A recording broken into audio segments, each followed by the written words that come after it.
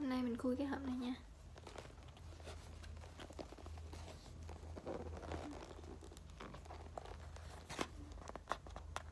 Còn cái bắp keo này dán miệng.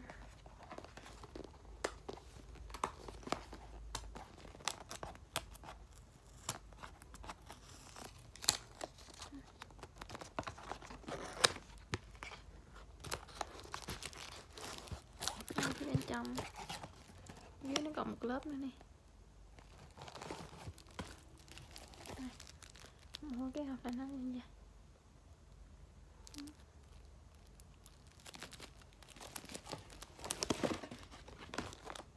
cái hộp này thì gồm có 20 cái nhỏ nhỏ như thế này cho lên mở cái này nha.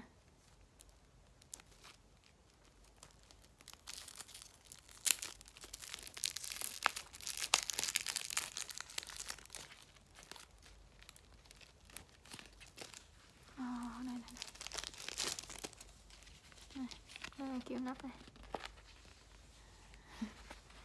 cái này chắc tặng Valentine cũng được luôn á.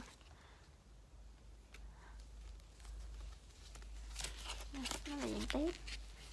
Cái như thế này. Ồ thơm quá. Một cái à, hộp nhỏ như thế này thì gồm có 15 tép này